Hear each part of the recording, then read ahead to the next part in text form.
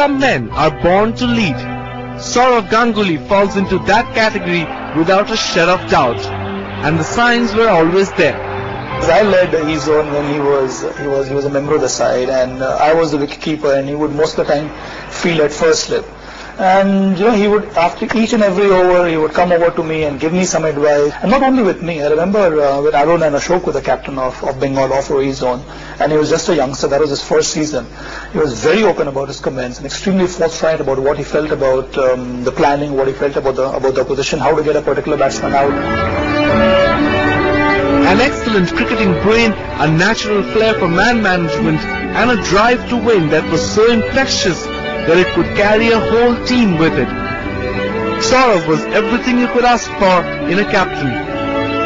मैं कहूँ कि वो एक बहुत बड़े फाइटर हैं कि जब उन्हें चैलेंज मिला टीम संभालने का तब भी उनको इंडियंस एक वो फाइट करने की वो थी कि हाँ भाई अगर मुझे चैलेंज मिला तो मुझे प्रूव करना मुझे लड़ना है और लड़ाना अपनी टीम को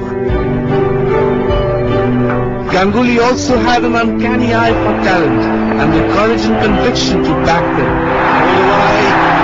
Imagine uh, he bagged Viru, Viru, all these players were brought by Sourav and Bhaji, Zach, and they turned out to be the match winners now.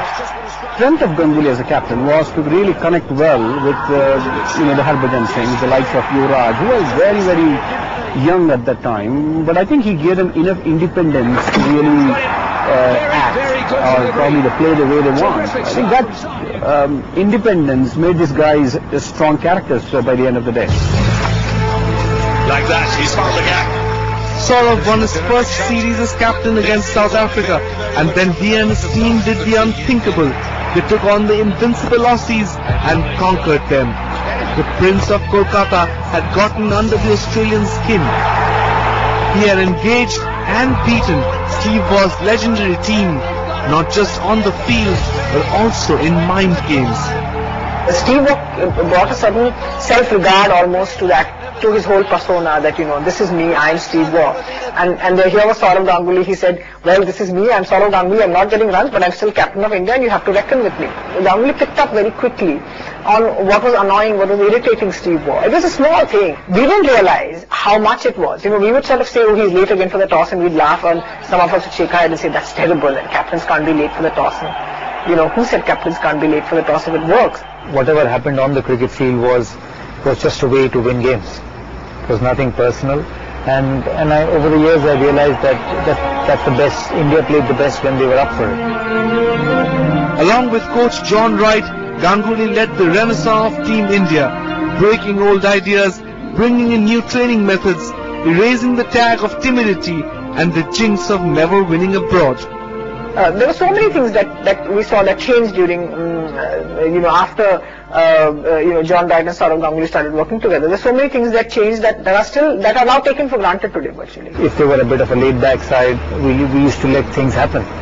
So we, somebody like John or me or even Andrew who was with us then, wanted to make sure that we were awake for all the games and played aggressively. We were a different side once we did that.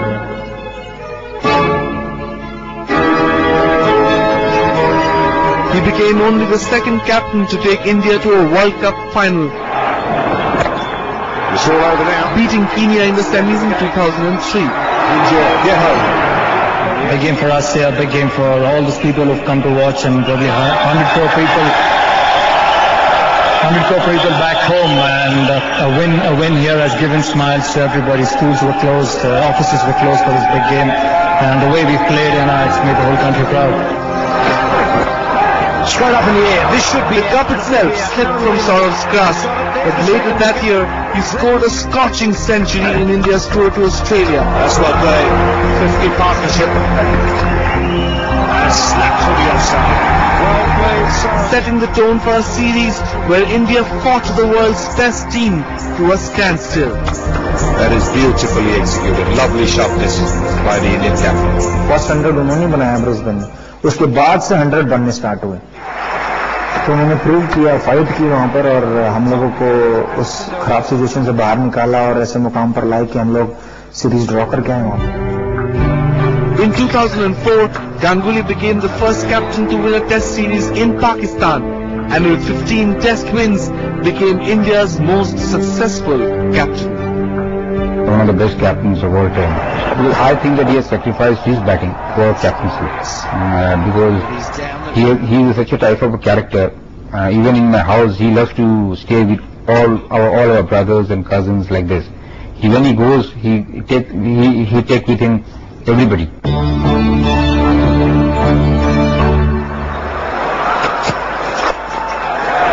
But Ganguly had suddenly reached the peak of a slippery slope and the fall, true to his style, was dramatic. A complete and devastating loss of batting form, struggling as captain, and the team losing just about every series they played.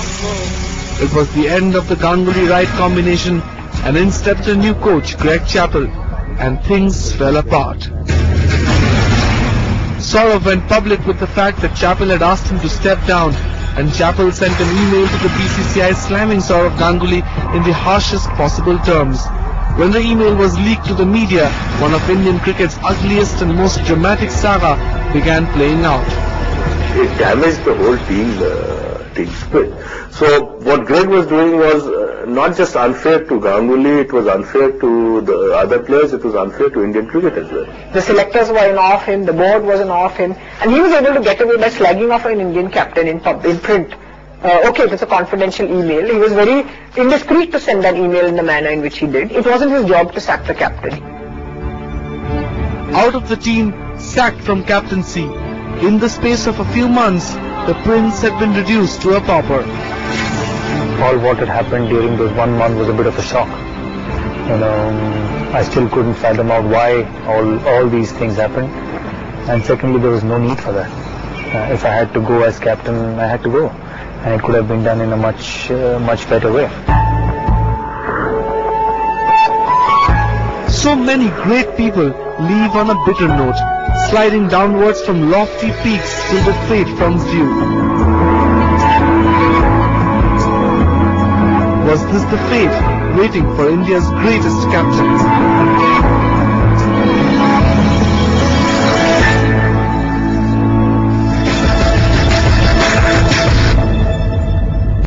The moment has arrived.